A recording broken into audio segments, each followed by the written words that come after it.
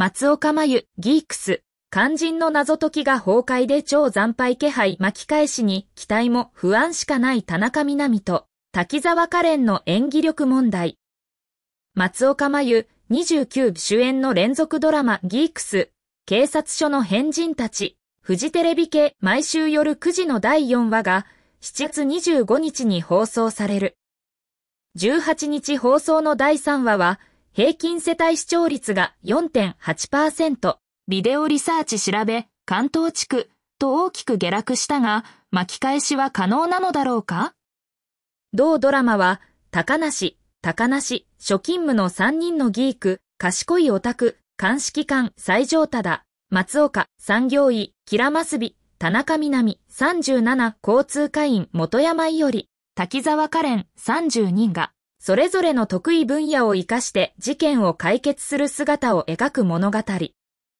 井戸端謎解きエンターテイメントと歌っているが、その謎解きがネックになっているようだ。第3話は、高梨小学校でうさぎ小屋のぼや騒ぎが発生。火元はタバコの吸い殻で、放火の可能性が。その場所には右半分が燃えてしまい読めないが、うさぎのキャラクターチェリウサの絵柄の便箋にひらがなで書かれた怪文書が残っていて、西条が調べてみると、川尻翔吾という男の指紋が付着していた。そして元山が交通安全教室のためぼやのあった学校を訪れると、うさぎ小屋の前で謎の少年と遭遇する。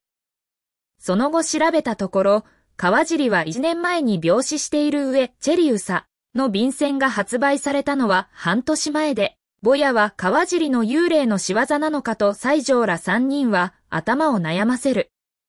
そして所長、みたらしち、徳井優、64に事件解決をせっつかれた西条は月曜から残業することになり、刑事、芹沢直樹、中村葵、33と一緒に高梨小学校を訪れると、校舎の窓に火の玉が浮いていて、という展開。結局オチは、ぼやは学校の警備員のタバコの不始末が原因。病死した川尻は、本物の川尻から戸籍を買い取った別人だった。そして怪部署は、家族を捨て、戸籍を捨てた本物の川尻が、後に息子が病死したことを知り、息子の好きだったうさぎ小屋にメッセージとして置いたものだった。元山がうさぎ小屋の前で見た少年は、父親を探している川尻の息子の幽霊だったようだと聞いた川尻は、息子を思って涙するという結末を迎えた。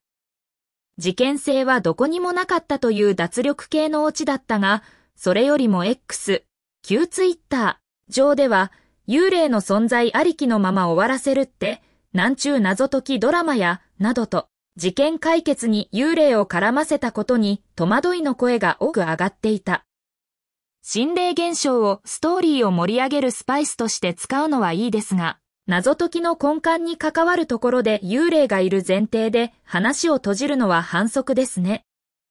いないものをいることにしては、謎解き自体が成り立たなくなってしまいますから。もちろんコメディ作品なら別ですが、一応井戸端謎解きエンターテイメントを歌っている以上、視聴者は納得できないでしょう。ドラマライター、山川、松岡は番組公式サイトで、刑事物だけどそこまで考察せず、中略、遅めの夕飯でも食べながら、だらだら見てもらえたら嬉しいです、とコメントしている。まだはっきり語られていないが、西条、松岡、と隣人、足立、白洲人31キラ、田中と娘、元山、滝沢、と府、舞亭など、それぞれに事情がありそうで、本作は事件の謎解きより、3人の恋や家族関係に注目するドラマなのかもしれない。